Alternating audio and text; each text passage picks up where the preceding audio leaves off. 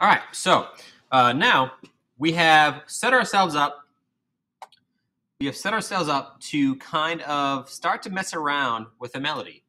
Uh, we have our piano here with the major pentatonic.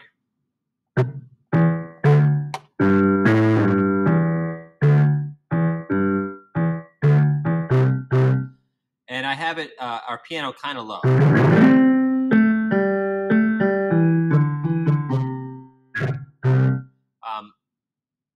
If you wanted to, you could make it higher with the octave option here. Let's see, maybe I'll even zoom in a little bit. You can see this a little better, okay? Um, you can raise the octave option here.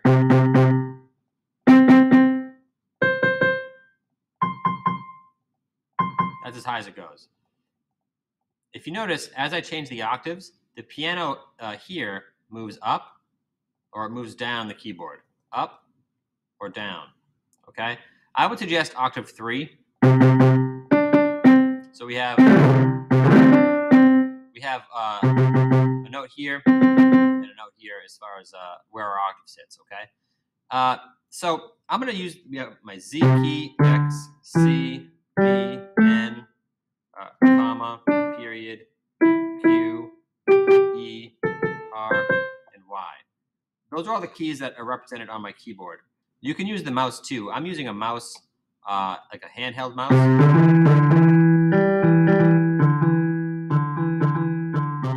And it's easy to drag across the keyboard with the mouse.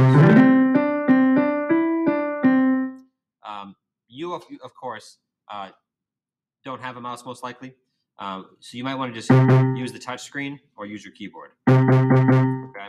Either way, what you're going to do now is uh, if we see up here, okay, we're going to play along with the drum beat. But as we see, when the drum beat ends, it stops. Like there's no more drums after the, the fourth one. But we want them to loop. We want it after it finishes the four, we want it to go back to one. What we're going to do is click right here to turn this to be bright red. By clicking to make this red like this, after it finishes on the fourth one, you'll see it goes through all four uh, collections of our patterns.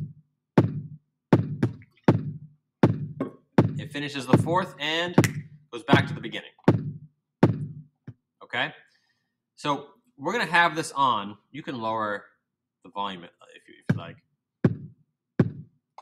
And now you want to start to think about playing some melody. Here we go.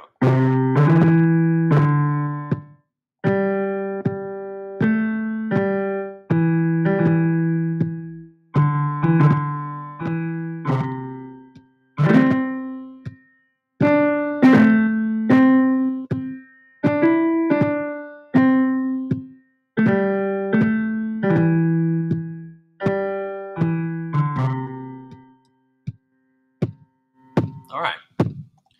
I would just make that up. Uh, what I want you to do is in your C major pentatonic on the octave three, along with your drum beat, mess around and play with different melody jingle ideas. Okay. If you want to make it faster, type in a faster number here. The higher number, the faster it'll be. Here we go.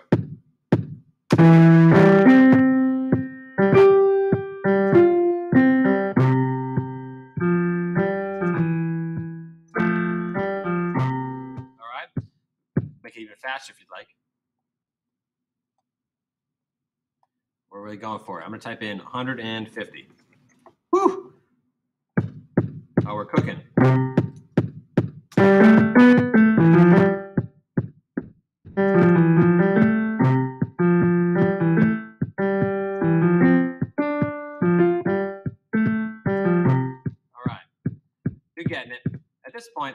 Want you to, when this video finishes, take some time to practice and come up with a set of uh, notes that you want to play in order.